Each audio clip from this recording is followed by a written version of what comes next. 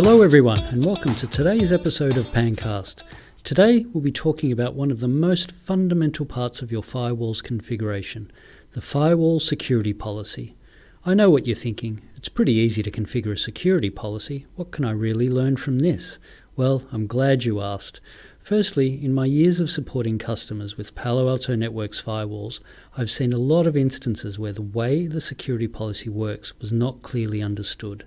This has therefore been the root cause of what sometimes looks like the firewall not working properly. And secondly, which is pretty important, ultimately the traffic you allow or block, the traffic you choose to apply URL filtering on, and the traffic you need to inspect for threats. All of this is based on your security policy. So if it is not set up correctly, then you are not securing your environment the way you think you are. So let's get stuck into it. The first thing I want to talk about is Firewall Security Policy Match. When creating a policy, there are multiple sections, but these can be thought of as two distinct areas. One is the policy match, and one is the action.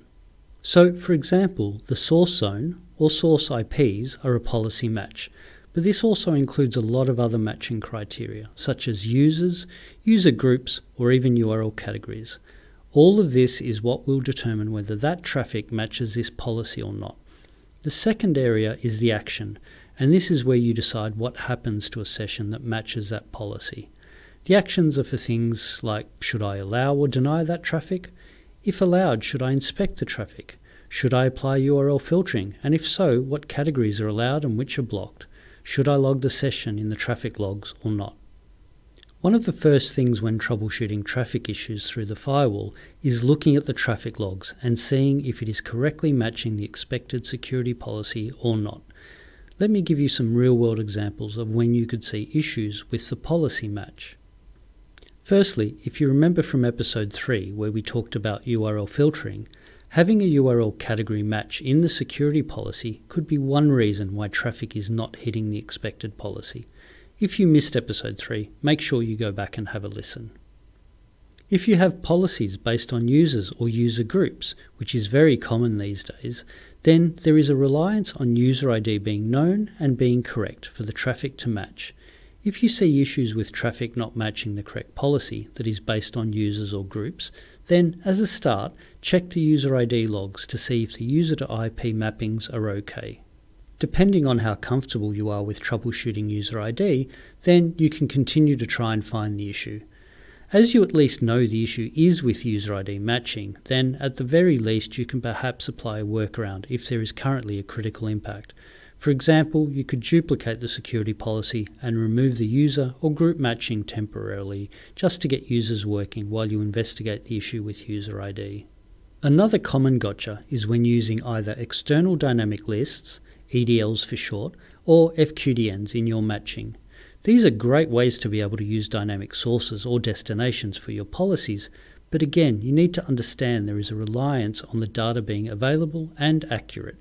If you're using internal EDLs and the server that hosts the files is offline, the list cannot be updated by the firewall. Using FQDNs can also sometimes be the cause of matching issues.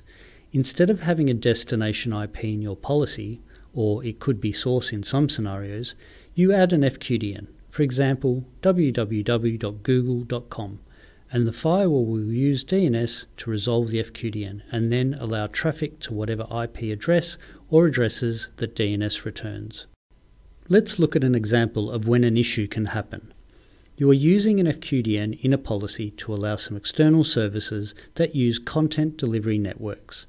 You have a firewall in Australia that is configured to use public DNS, so it is querying the FQDN name through its local ISP. Your users have internal DNS configured, but in your organization, external DNS queries are all done from your primary DNS servers, which happen to be in the US. As your firewall in Australia would get an Australian regional DNS response, and your DNS server in the US would be getting a different IP, then there is a mismatch in the IP the client is trying to connect to and what the firewall is allowing. In this scenario, the traffic will not match the policy and would most likely be denied. So that's the policy match. Let's have a quick look at the actions. The actions, as I mentioned, are where you specify what to do once traffic matches a particular policy.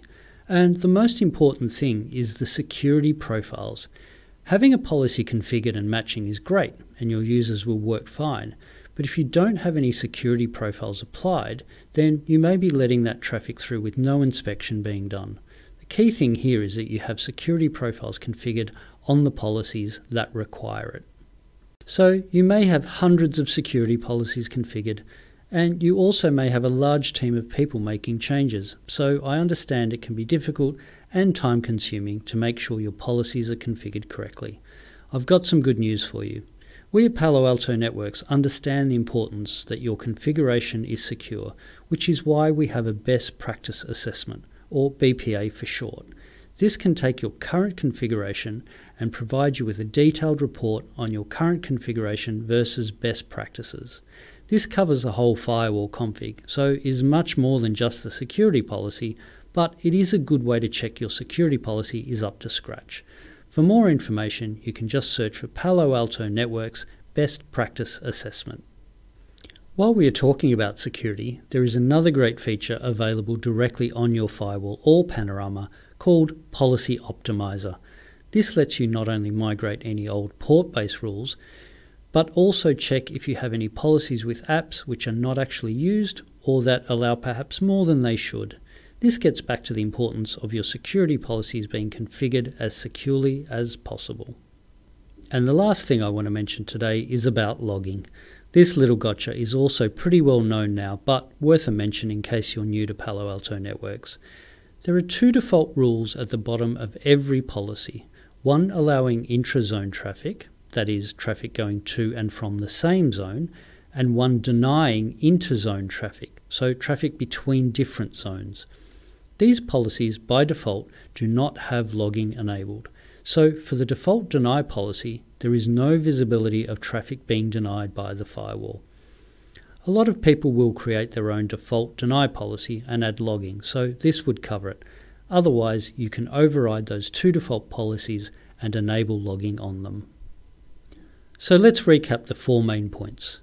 One, the policy match is important. If a session doesn't match all of the configured options, it will not match that policy. Two, security profiles are important. Without them, you're allowing the traffic, but not inspecting your traffic. Three, make use of the Palo Alto Network's BPA tool regularly to check your policy, or use the Policy Optimizer. And four, remember the two default rules do not have logging enabled by default. And that's it for another round of Pancast.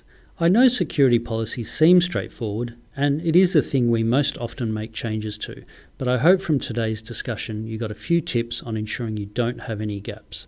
Might be time to go and have a quick review or get that BPA done. Remember to head to live.paloaltonetworks.com and look under the Pancast section for the transcripts to this episode and links to relevant knowledge base articles.